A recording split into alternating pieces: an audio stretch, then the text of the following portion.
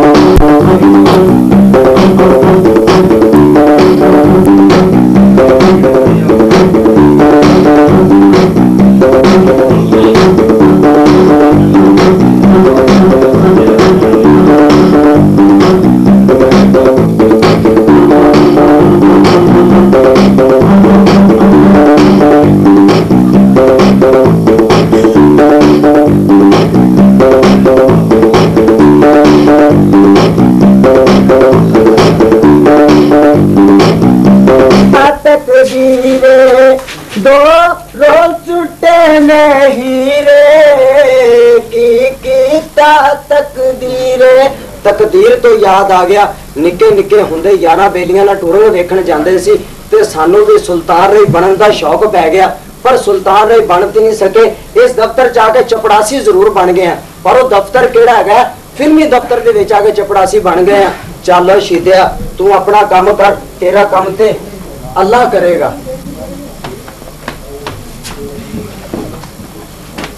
ਅਸਲਾਮ ਅਲੈਕਮ। ਓਹੋ ਮਨਾ ਜੀ। ਮੈਂ ਕਿਹਾ ਸ਼ਹੀਦਿਆ ਕੀ ਆਪਸ ਵਿੱਚ ਗੱਲਾਂ ਕਰੀ ਜਾ ਰਹੇ ਬਈ? ਉਹ ਮੈਂ ਕਿਹਾ ਜੀ ਮੈਂ ਕਿਹਾ ਵੀ ਸਾਡੇ ਸਾਹਿਬ ਜੀ ਆਣ ਵਾਲੇ ਨੇ ਤੇ ਇਧਰੋਂ ਸਾਨੂੰ ਸਾਡਾ ਸ਼ਹਜ਼ਾਦਾ ਆ ਗਿਆ। ਉਹ ਨਾ ਪਰ ਮੈਂ ਸਾਹਿਬ ਤੋਂ ਘੱਟ ਆ। ਔਰ ਲੈ ਤੂੰ ਸਾਹਿਬ ਨਾਲ ਘੱਟ ਹੈਗਾ। ਮੈਂ ਕੋਈ ਪਾਰਟੀ ਪੂਲਟੀ ਘੇਰੀ ਕੋਰੀ ਹੈ ਕਿ ਕੋਈ ਨਹੀਂ? ਆ ਖੜਾ ਹੋ ਕੇ ਗੱਲ ਸੁਣੋ ਤੇ ਇੱਥੇ ਆ ਕਿਹਾ ਮੈਂ ਬੜੀ ਦੂਰੋਂ ਆ ਰਿਹਾ ਸਬਰ ਕਰ। ਉਹ ਗੱਲ ਹੈ ਕਿ ਪਾਰਟੀਆਂ ਤੇ ਘਿਰਦਾ ਹੀ ਰਹਿੰਦਾ ਬੰਦਾ ਯਾਰ। ਅੱਛਾ। ਪਰ ਤੇਰੀ ਹਾਲਤ ਵੇਖ ਕੇ ਨਾ ਮੈਨੂੰ ਬੜਾ ਅਫਸੋਸ ਹੁੰਦਾ। ਹੈ ਕਰਦਾ ਵੀ ਇੱਥੇ ਕਿਸੇ ਬੰਦੇ ਨੂੰ ਨਾ ਲੈ ਕੇ ਆਵਾਂ। ਹੋਰ? ਜਿਹਨੂੰ ਵੀ ਲੈ ਕੇ ਆਇਆ ਤੇਰੇ ਰੰਗਾ ਹੋ ਜਾਏ। ਓਹੋ ਅਸੀਂ ਅੱਡੇ ਹੀ ਢਾੜੇ ਲੱਗਨੇ ਹੈਗੇ ਆ ਦੇਖੇ ਨਾ ਅਸੀਂ ਉਹ ਭੈੜਾ ਤਾਂ ਤੂੰ ਨਹੀਂ। ਹੈਗਾ। ਤੂੰ ਭੈੜਾ ਨਹੀਂ ਹੈਗਾ। ਅੱਛਾ। ਤੂੰ ਬਹੁਤ ਚੰਗਾ ਹੈ। ਹਾਂ ਮਿਹਰਬਾਨੀ। ਫਿਰ ਅਸੀਂ ਮੈਂ- ਵੀਰੇ ਹੈਗੇ ਆ। ਤੈਨੂੰ ਮੈਂ ਕਿਹਾ ਸੀ ਨਾ ਕਿ ਫਿਲਮਾਂ ਦਾ ਸ਼ੌਕ ਛੱਡ ਦੇ। ਤੇ ਤੂੰ ਮਨ ਵੀ ਇਸ ਫੀਲਡ 'ਚ ਪਾ ਕੇ ਤੇ ਤੂੰ ਦਲੀਲੋ ਖਾਰ ਕਰ ਦਿੱਤਾ ਆ। ਅੱਛਾ ਮੈਂ ਕਿ ਹੁਣ ਮੇਰੇ ਕੋ ਕੰਮ ਦੀ ਵੀ ਗੱਲ ਸੁਣੇਗਾ। ਉਹ ਕਾਲ ਦੀ ਕੀ ਗੱਲ ਕਰਨੀ? ਯਾਰੋ ਅੱਜ ਡਾਇਰੈਕਟਰ ਸਾਹਿਬ ਆਣ ਤੇ ਕੋਈ ਪਤਾ ਲੱਗੇ ਯਾਰ ਕਿਹਾ ਕੰਮ ਕੋ ਪਾਰਟੀ ਪੂਲਟੀ ਘੇਰੀ ਹੈ ਕੋਈ ਨਹੀਂ। ਉਹ ਕਰ ਲਾਂਗੇ ਪਾਰਟੀ ਦਾ ਵੀ ਬੰਦੋਬਸਤ। ਪਹਿਲੇ ਡਾਇਰੈਕਟਰ ਸਾਹਿਬ ਨਾਲ ਗੱਲ ਕਰਾਂਗਾ। ਅੱਛਾ। ਹਮਾਰੇ ਗਏ ਨੇ ਅੱਜ ਡਾਇਰੈਕਟਰ ਸਾਹਿਬ? ਉਹ ਬਸ ਉਹ ਕੰਮ ਗਏ ਹੈਗੇ ਨੇ ਆਣ ਵਾਲੇ ਨੇ। ਕੰਮ ਗਏ ਨੇ? ਆਹੋ। ਅੱਛਾ ਫਿਰ ਗੱਲ ਸੁਣ ਮੈਂ ਉਹ ਲੱਭੇ ਪਾਣ ਵਾਲੇ ਕੋਲ ਖੜਾ ਇੱਕ ਮੇਰਾ ਵੀ ਲਈ ਆਵੀਂ ਲਿਆ 2 ਰੁਪਏ ਦਾ। ਲੈ ਮੇਰੇ ਕੋਲੇ ਤਾਂ ਸ਼ੇਵ ਕਰਾਉਣ ਨੂੰ ਨਹੀਂ ਹੈਗਾ ਤੂੰ ਗੱਲ ਪੈਸੇ ਸੁਣ ਦੀ ਗੱਲ ਮੇਰੀ। ਕਰਨ ਦੇ ਹੈਗਾ। ਭਾਂਡਾ ਖੁੱਲਾ ਹੋਵੇ ਨਾ ਤਾਂ ਮੂੰਹ ਨਹੀਂ ਮਾਰੀਦਾ। ਮੈਂ ਮੂੰਹ ਵਿੱਚ ਸਮਝ ਆਈ ਜਾਈ ਨਾ? ਮੂੰਹ ਵਿੱਚ ਜਾਈ ਮੈਂ ਉੱਤੇ ਖੜਾ ਡਾਕਟਰ ਸਾਹਿਬ ਆਉਣ ਤੇ ਮੈਨੂੰ ਸੱਦ ਲੈ। ਸਮਝ ਆਈ ਨਾ? ਚਾਦਰ ਵਿਛਾ ਲਈ। ਸ਼ਹਜ਼ਾਦਾ ਹੈਗਾ ਵੀੜਾ ਹੈਗਾ ਵੀੜੇ ਨਾਲ ਨਹੀਂ ਦੁੱਖ ਸੁੱਖ ਕਰਨਾ ਹੈਗਾ ਕਿਹਦੇ ਨਾਲ ਕਰਨਾ ਹੈਗਾ? ਚੱਲ ਫਿਰ ਠੀਕ ਹੈ। ਆ ਪਾਰਟੀ ਜ਼ਰਾ ਚੰਗੀ ਜੀ। ਉਹ ਚੱਲ ਓਏ ਤੂੰ ਆਪਣਾ ਹੁਕਮ ਕਰ।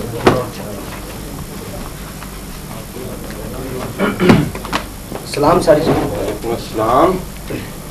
ਆਬੀ ਸ਼ੀਦਿਆ ਕੀ ਹਾਲ ਤੇਰਾ? ਬਾਜੀ ਜੀ ਸਰ ਜੀ। ਠਾਕ ਹੈ? ਹਾਂਜੀ। ਬੜੀ ਸਿਗਰਟ ਦੀ ਤਮੰਨਾ ਹੋ ਗਈ ਸੀ ਯਾਦ ਹੀ ਨਹੀਂ ਹਰੀ ਸਿਗਰਟ ਕਿੱਥੇ ਰੱਖਦਾ ਸ਼ਾਮ ਆ ਮੇਰੇ ਕੋਲੇ ਕੋੜਾ ਹੈਗੀ ਹੈ ਜੀ। ਬੇਟਾ ਤੈਨੂੰ ਪਤਾ ਹੈ ਕਿ ਮੈਨੂੰ ਖੋਤੀ ਰੇੜੀ ਤੇ ਬੈਣ ਦੀ ਆਦਤ ਨਹੀਂ ਮੇਰੇ ਕੋਲ ਆਪਣੀ ਸਿਗਰਟ ਹੁੰਦੀ ਅੱਛਾ ਜੀ। ਬੈਠ ਜਾ ਇੱਥੇ। ਹਾਂ ਕੀ ਕੀਤਾ ਹੀ ਕੰਮ ਮੈਂ ਕਹਿੰਦਾ ਜੀ ਬਸ ਸ਼ਬਸ਼ ਹੈਗਾ ਹੁਣੇ ਮਨਾ ਆਇਆ ਹੈਗਾ ਸੀ। ਬਣਾਇਆ ਸੀ? ਹਾਂਜੀ। ਕੀ ਕਹਿੰਦਾ ਸੀ? ਉਹ ਤੁਹਾਡਾ ਹੀ ਜ਼ਿਕਰ ਕਰ ਰਿਹਾ ਸੀ ਜੀ। ਓਏ ਉਹਨੇ ਕੋ ਪਾਰਟੀ ਦੇ ਮੁਤਲਕ ਵੀ ਕੋਈ ਦੱਸਿਆ ਜਾਂ ਨਹੀਂ? ਉਹ ਕਹਿੰਦਾ ਜੀ ਤੇਰਾ ਸਾਹਬ ਆਏਗਾ ਉਹਦੇ ਨਾਲ ਗੱਲ ਕਰਨੀ ਤੇਰੇ ਨਾਲ ਨਹੀਂ ਗੱਲ ਕਰਨੀ। ਉਹ ਵੀ ਸਹੀ ਗੱਲ ਹੈ ਕਿਉਂਕਿ ਉਹ ਹਰ ਭੈੜੇ ਮੂੰਹ ਨੂੰ ਨਾ ਮੂੰਹ ਲਾਵੇ ਤੇ ਉਹ ਆਪਦੀ ਮਰਜ਼ੀ ਦਾ ਮਾਲਕ ਹੈ। ਬਾਕੀ ਵੈਸੇ ਤੂੰ ਅਖਬਾਰ 'ਚ ਇਸ਼ਤਾਰ ਦਿੱਤਾ ਹੈ ਕਿ ਨਹੀਂ? ਉਹ ਸਾਹਿਬ ਜੀ ਮੈਨੂੰ ਅਖਬਾਰ ਤੋਂ ਯਾਦ ਆਇਆ। ਮੈਂ ਬਾਹਰ ਬੈਠਾ ਅਖਬਾਰ ਪੜ੍ਹ ਰਿਹਾ ਸੀ। ਤੂੰ ਅਖਬਾਰ ਪੜ੍ਹ ਰਿਹਾ ਸੀ? ਜੀ। ਉਹ ਮਰੇ ਤੇਰਾ ਤੇ ਆ ਮੈਲੀ ਤਖਤੀ ਵਰਗਾ ਮੂੰਹ ਹੈ ਤੂੰ ਕਿੱਥੇ ਪੜਨਾ ਹੈ? ਕਿੱਥੇ ਹੈ ਅਖਬਾਰ ਉਹ ਸਰ ਜੀ ਬਾਹਰ ਪਿਆ ਗਿਆ ਮੈਂ ਵੀ ਮੈਟ੍ਰਿਕ ਪਾਸ ਹੈਗਾ ਜੀ ਅੱਛਾ ਤੇ ਤੂੰ ਮੈਟ੍ਰਿਕ ਪਾਸ ਹੈ ਜੀ ਤੇ ਇਸ ਦਫ਼ਤਰ 'ਚ ਨੌਕਰੀ ਕਰਦਾ ਫਿਰਨਾ ਹੈ ਤੂੰ ਬਾਜੀ ਹੀਰੋ ਬਣਨ ਆਇਆ ਸੀ ਘਰੋਂ ਹੀਰੋ ਬਣਨ ਆਇਆ ਸੀ ਜੀ ਤੇ ਬੇਟਾ ਤੂੰ ਸ਼ੀਸ਼ਾ ਨਹੀਂ ਫੋਰਨ ਨਾਲ ਵੇਖਿਆ ਸੀ ਜਦੋਂ ਤੈਨੂੰ ਇਹ ਗਲਤਫਹਿਮੀ ਹੋਈ ਸੀ ਕਿ ਤੂੰ ਹੀਰੋ ਬਣਨ ਹੀ ਟੁਰ ਪਿਆ ਸੀ नहीं नहीं नहीं तुम पैसा नहीं देता शेख सलामकुम क्या बात है तुम हमारा पैसा क्यों नहीं देती ਖਾਨ ਸਾਹਿਬ ਮੈਂ ਤੁਹਾਨੂੰ ਕਿੰਨੀ ਵਾਰੀ ਸਮਝਾਇਆ ਕਿ ਇਹ ਮੇਰਾ ਆਫਿਸ ਹੈ ਤੇ ਇਹ ਫਿਲਮਾਂ ਦਾ ਦਫ਼ਤਰ ਹੈ ਤੁਸੀਂ ਹਰ ਵਾਰੀ ਆ ਕੇ ਬਕਵਾਸ ਕਰਕੇ ਤੇ ਇਹਦਾ ਇਮੇਜ ਖਰਾਬ ਕਰਨ ਦੀ ਕੋਸ਼ਿਸ਼ क्या ਕਰਦੇ क्या ਹੋ तुम्हारा ऑफिस है हम पैसा लेती है पैसा दो हमको ਅੱਛਾ ਪੈਸਾ ਲਵੋ ਇਹ ਥੋਕਾ ਨਾਲ ਚਿਕੜ ਨਾ ਕਰੋ ठीक ਆਹੋ फिर हमारे को पैसा दो ਤੇ ਤੁਹਾਨੂੰ ਕਿਹਾ ਨਾ ਕਿਹਾ ਸੀ ਇਸ਼ਤਾਰ ਦਿੱਤਾ ਕਿਤੇ ਗਿਆ ਤੈਨੂੰ ਅਖਬਾਰ ਲੈ ਕੇ ਵਹਾ ਇਹਨੂੰ ਅੱਛਾ। ਲੈ ਅਖਬਾਰ ਲੈ ਕੇ ਆ ना हम देखे ਦੇਖੇਗੀ 300 ਰੁਪਇਆ ਲੈਣਾ ਹੈ, ਤੇ ਐਵੇਂ ਖਾਮ ਖਾ ਆ ਸਾਹਿਬ ਜੀ ਸਾਹਿਬ ਜੀ ਇਹ ਓਏ ਜਿਹੜਾ ਇਹਨਾਂ ਨੂੰ ਕਿੱਥੇ ਪੜਨਾ ਆਉਂਦਾ ਹੈ ਉਹ ਚਲੋ ਤੂੰ ਮੈਂ ਅਸੀਂ ਇਸ਼ਤਾਰ ਦਿੱਤਾ ਹੈ। ਹੁਣੇ ਕੋਈ ਨਾ ਕੋਈ ਸਾਡੇ ਦਫ਼ਤਰ ਚ ਗਾਹਕ ਆ ਜਾਣਾ ਹੈ, ਤੇ ਉਸ ਤੋਂ ਬਾਅਦ ਸਾਡੇ ਕੋਲ ਨੋਟ ਹੋ ਜਾਣੇ ਨੇ ਤੇ ਫਿਰ ਜਦੋਂ ਮੈਂ ਤੁਹਾਡੇ ਹੋਟਲ ਤੋਂ ਬਾਅਦ ਗੁਜ਼ਰਨਾ ਹੈ, ਤੇ ਤੂੰ ਮਿੰਤਾ ਕਰਨੀਆਂ ਨੇ ਇਲਤਾਫਰ ਰਹਿਮਾਨ ਸਾਹਿਬ ਇਲਤਾਫਰ ਰਹਿਮਾਨ ਸਾਹਿਬ ਸਾਡੇ ਹੋਟਲ ਦੀ ਇੱਕ ਵਾਰੀ ਚਾਹ ਪੀ ਕੇ ਤੇ ਵਹਾਓ ਤੁਹਾਡਾ ਯੂਨਿਟ ਤੁਹਾਡਾ ਯੂਨਿਟ ਸਾਡੇ ਹੋਟਲ ਤੋਂ ਕੁਰਬਾਨ ਹੋ बोला ਜਾਏਗਾ। ठीक है ठीक हमको यकीन है वादा पैसे देंगे ना पैसे ਓਹੋ ਯਾਰ ਤੈਨੂੰ ਹਰ ਵਾਰੀ ਸਮਝਾਉਣਾ ਪੈਂਦਾ ਪਰ ਤੈਨੂੰ ਸਮਝ ਨਹੀਂ ਆਉਂਦੀ। ਖਾਨ ਸਾਹਿਬ ਤੁਹਾਡੇ ਹੱਥੇ ਭੂਸਾ ਭਰਿਆ ਹੋਇਆ ਉਹ 300 ਰੁਪਏ ਦੀ ਕਿਹੜੀ ਗੱਲ ਏ? ਦੇ ਦੇਾਂਗੇ ਯਾਰ ਲੈ ਅਰੇ ਸ਼ੀਦਿਆ ਜੀ ਭਾਜੀ। ਯਾਰ ਇਹਨੂੰ ਸਮਝਾਇਆ ਕਰ ਯਾਰ ਇਹਨੇ ਮੇਰਾ ਦਿਮਾਗ ਖਰਾਬ ਕਰਤਾ। ਮੇਦਰ ਚਲੋ ਉਹ ਕਾਸਾ ਉੱਲੀ ਵਾਲਾ ਕੁਝਾ ਹੁੰਦਾ। ਕਿੱਡਾ ਕਾਲਾ ਉਹ ਸਰ ਜੀ ਤੁਸੀਂ ਇਹ ਜਿਹਨੂੰ ਕਿਉਂ ਮੂੰਹ ਲਾਦੇ ਹੁੰਦੇ ਜੀ अ, एक नई फिल्म के लिए चंद नए चेहरों की जरूरत है जिसमें hero heroine villain dance director music director extra extra phone number रब्ता करें हाँ बिल्कुल ठीक है ਠੀਕ ਹੈ ਸਾਹਿਬ आपका ਜੀ एड्रेस भी ठीक है ਬਿਲਕੁਲ ਮਿਹਰਬਾਨੀ ਜੀ ਤੇ ਹੁਣ ਉਹ ਵਾਲੇਕੁਮ ਅਸਲਾਮ ਇੱਕ ਹੋਰ ਆਵਾਜ਼ ਆ ਰਹੀ ਹੈ ਉਹ ਮਕਾਨ ਦਾ ਕਿਰਾਇਆ ਤੁਸੀਂ ਕਿਹਾ ਸੀ ਐਡਵਾਂਸ ਦੇਣਾ 2 ਮਹੀਨੇ ਦਾ। ਅੱਛਾ। ਜੀ ਤੇ 2 ਮਹੀਨੇ ਦੀ ਬਜਾਏ 2 ਮਹੀਨੇ ਹੋ ਗਏ ਨੇ। ਉਹ ਵੇਖੋ ਜੀ ਜਦੋਂ ਕਿਰਾਇਆ ਨਹੀਂ ਹਲੇ ਤੱਕ ਮਿਲਿਆ ਤੁਹਾਡਾ। ਜਦੋਂ ਤੁਹਾਡੀ ਤਬੀਅਤ ਨਰਮ ਹੋਏਗੀ ਤੇ ਫਿਰ ਬੰਦੇ ਦਾ ਅੱਗੇ ਪਿੱਛੇ ਹੋਣ ਨੂੰ ਰੂਹ ਤੇ ਕਰੇਗਾ ਨਾ ਮੇਰੀ ਤਬੀਅਤ ਤੇ ਨਰਮ ਹੁੰਦੀ ਹੀ ਨਹੀਂ। 2 ਮਿੰਟ ਕਿਹੜੀ ਗੱਲ ਮੇਰੀ ਤਬੀਅਤ ਗਰਮ ਸਰਦ ਹੁੰਦੀ ਰਹਿੰਦੀ ਆ। ਉਹ ਇਸ ਵਜ੍ਹਾ ਤੋਂ ਹੁੰਦੀ ਰਹਿੰਦੀ ਕਿ ਤੁਹਾਡਾ ਇਸ ਤਰ੍ਹਾਂ ਜਿਵੇਂ ਅੱਡੀ ਨੂੰ ਸੇਕਾ ਲੱਗਿਆ ਹੁੰਦਾ। ਅੱਛਾ ਅੱਛਾ ਅੱਛਾ। ਤੁਸੀਂ ਲਵਾਣਾ ਜੇ? ਕੀ ਭਲਾ? ਅੱਖਾਂ ਨੂੰ ਸੇਕਾ। ਤੁਸੀਂ ਲਵਾਣਾ ਜੇ? ਹੌਸਲਾ ਕਰੋ। ਤੁਸੀਂ ਮੈਨੂੰ ਇਹ ਦੱਸੋ ਕਿਰਾਏ ਦੀ ਗੱਲ ਕਰੋ। 2 ਮਹੀਨਿਆਂ ਦਾ ਕਿਰਾਇਆ ਰਹਿੰਦਾ ਤੇ ਤੁਸੀਂ ਸਾਰਿਆਂ ਦੇ ਸਾਹਮਣੇ ਫੜ ਕੇ ਤੁਹਾਨੂੰ ਜ਼ਰੀਰ ਕਰਨਾ ਇਹਨਾਂ ਦਫ਼ਤਰਾਂ ਨੂੰ ਵੀ ਪਤਾ ਲੱਗ ਜਾਣਾ ਹੈ। ਇਹਨਾਂ ਨੇ ਵੀ ਆਵਾਜ਼ ਸੁਣ ਲੈਣੀ ਹੈ। ਤੁਹਾਡੀ ਸਾਡਾ ਫੇਰ ਦਾ ਮਸਲਾ ਹੈ। ਮੈਂ ਇਸ ਤੋਂ ਕਹਿੰਦਾ ਤੁਹਾਡੀ ਅਸਲੀਅਤ ਨਾ ਕੋਈ ਜਾਣ ਲਵੇ। ਤੇ ਤੁਸੀਂ ਕਿਰਾਇਆ ਜਿਹੜਾ ਹੈਗਾ 2 ਮਹੀਨੇ ਦਾ ਜਿਹੜਾ ਹੈਗਾ ਹੁਣ ਬੰਦਾ ਉਹ ਦੇ ਦਿਓ।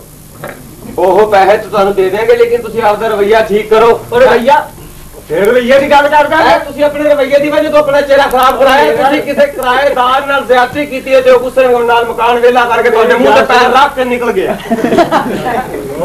ਕਿ ਮੈਂ ਕਹਿ ਰਿਹਾ ਵੀ ਅੱਗੇ ਤੋਂ ਕਿਰਾਇਆ ਜਿਹੜਾ ਨਾ ਹਾਂ ਫੌਰਨ ਮੇਰੇ ਘਰ ਪਹੁੰਚਣਾ ਚਾਹੀਦਾ ਅੱਗੇ ਤੋਂ ਕਿਰਾਇਆ ਹੋ ਕੇ ਮੈਂ ਅਗਾ ਹੋ ਕੇ ਆਪ ਦੇਵਾਂਗਾ ਤੁਸੀਂ ਬੇਫਿਕਰ ਹੋ ਜਾਓ ਹਾਂ ਬੜੀ ਮਿਹਰਬਾਨੀ ਤੁਹਾਡੀ ਉੱਥੇ ਪਹੁੰਚਣਾ ਚਾਹੀਦਾ ਉੱਥੇ ਪਹੁੰਚੇਗਾ ਜਦੋਂ ਅਸੀਂ ਜੀ ਉੱਥੇ ਪਹੁੰਚ ਜਾਂਦੇ ਹਾਂ ਠੀਕ ਹੈ ਜੀ। ਤੇ ਕਿਰਾਇਆ ਵੀ ਪਹੁੰਚ ਜਾਏਗਾ। ਤੇ ਬਾਕੀ ਮੇਰੇ ਨਾਲ ਨਾ ਡਰਾਮੇਬਾਜ਼ੀ ਕਰਿਓ ਮੈਂ ਤੁਹਾਨੂੰ ਦੱਸ ਦਿੱਤਾ ਨਹੀਂ ਉਹ ਵੀ ਤੁਹਾਡੇ ਪੱਕੇ ਨੇ ਤੁਸੀਂ ਬੇਫਿਕਰ ਹੋ ਕੇ ਜਾਓ। ਮੈਂ ਸਾਰੀ ਅਸਲੀਅਤ ਦਾ ਸੱਚ ਨਹੀਂ ਨਾ ਨਾ ਐ ਨਾ ਕਰਨਾ ਮਿਰਜ਼ਾ ਸਾਹਿਬ ਤੁਸੀਂ ਸਾਡੇ ਦਫ਼ਤਰ ਦੇ ਮਾਲਕ ਹੋ ਅਸੀਂ ਤੁਹਾਡੀ ਇੱਜ਼ਤ ਕਰ ਰਹੇ ਹਾਂ। ਨਹੀਂ ਤੇ ਤੁਹਾਡੇ ਤੇ ਤਾਂ ਲਾਂਤ ਪਾਣ ਨੂੰ ਰੂਹ ਨਹੀਂ ਕਰਦਾ।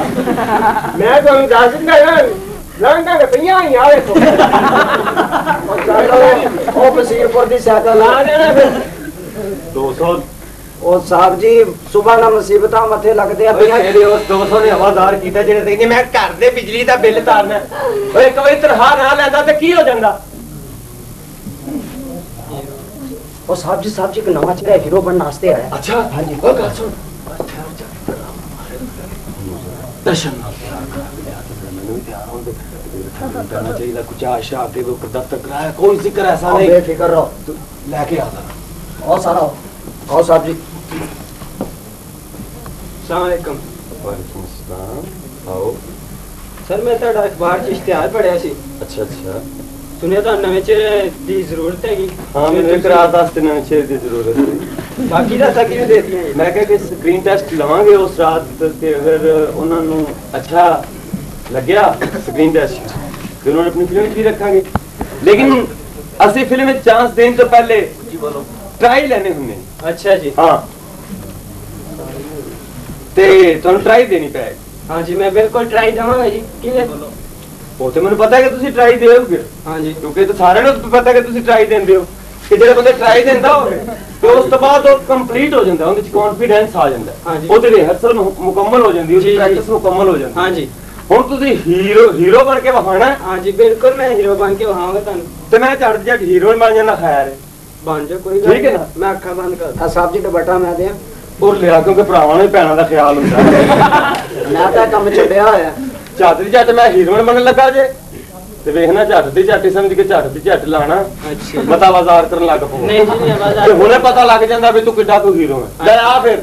ਤੇ। ਜੇ ਤੂੰ ਡਾਇਲੌਗ ਬਿਲਕੁਲ ਠੀਕ ਕੀਤੇ ਤੇ ਤੂੰ ਸਾਡੀ ਫਿਲਮ ਦਾ ਹੀਰੋ ਹੈ ਇੱਧਰ ਆ ਫਿਰ ਆ ਖੜੀ ਹੋਈ ਸ਼ਮਾ। ਸ਼ਮਾ? ਕਿਆ ਜਮਨ ਸਿਗਰਟ ਸੈਟ ਲੈਣ ਦੇ।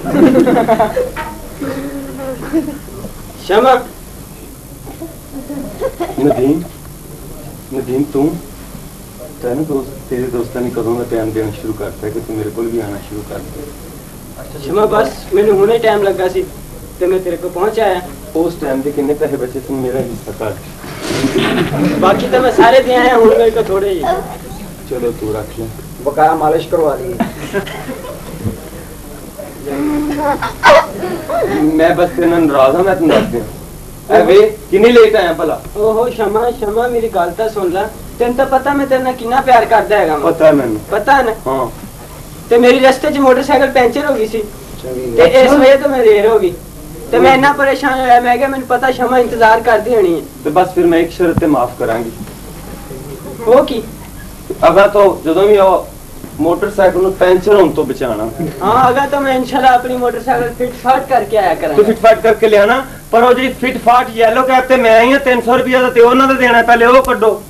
ਓਹੋ ਸ਼ਮਾ 300 ਦੀ ਤੂੰ ਗੱਲ ਕਰਦੀ। ਹਾਂ। ਮੈਂ ਤੇਰੀ ਖਾਤਰ ਇਸਮਾਨ ਤੋਂ ਤਾਰੇ ਲਿਆ ਕੇ ਤੋੜ ਸਕਦਾ ਹਾਂ। ਮੈਂ ਤੇਰੀ ਖਾਤਰ ਭਾਰ ਚੀਟਕਾ ਦੇ ਵਿੱਚੋਂ ਦੁੱਧ ਦੀਆਂ ਨਹਿਰਾਂ ਕੱਢ ਸਕਦਾ ਤੇ 300 ਰੁਪਏ ਦੀ ਕਾਦੀ ਗੱਲ ਇਹਦਾ 500 ਰੁਪਇਆ ਤੇ 100 ਰੁਪਏ ਅਗਲੀ ਵਾਰੀ ਕੋਲੋਂ ਪਾ ਕੇ ਇਸੇ ਟਾਈਮ ਇਸੇ ਬਾਗ 'ਚ ਫੇਰ ਮਿਲ ਲਈ। ਇਹ ਤੇ ਵਾਕਈ ਫਰਾਦ ਦਾ ਪਿਛਲਾਗ ਲੱਗਦਾ ਮੈਨੂੰ। 300 ਰੁਪਇਆ ਵੈਰੀ ਗੁੱਡ ਵੈਰੀ ਗੁੱਡ ਇਹ ਹੀਰਾ ਬਿਲਕੁਲ ਕਾਮਯਾਬ ਹੈ। ਬਿਲਕੁਲ। ਬਹੁਤ ਬੜੀ ਹਮਕ ਆਂਡੀ ਹੈ ਤੂੰ ਤਾਂ ਨਹੀਂ ਨਾਣਾ ਇਹਨੂੰ ਤੇ ਕਰ। ਉਹ ਸਾਹਿਬ ਜੀ ਕੀ ਕਰੀਏ ਗਾਚੀ ਵੀ ਮਿਲੀ ਗੱਲ ਸੁਣੋ ਤੁਸੀਂ ਸਾਡੇ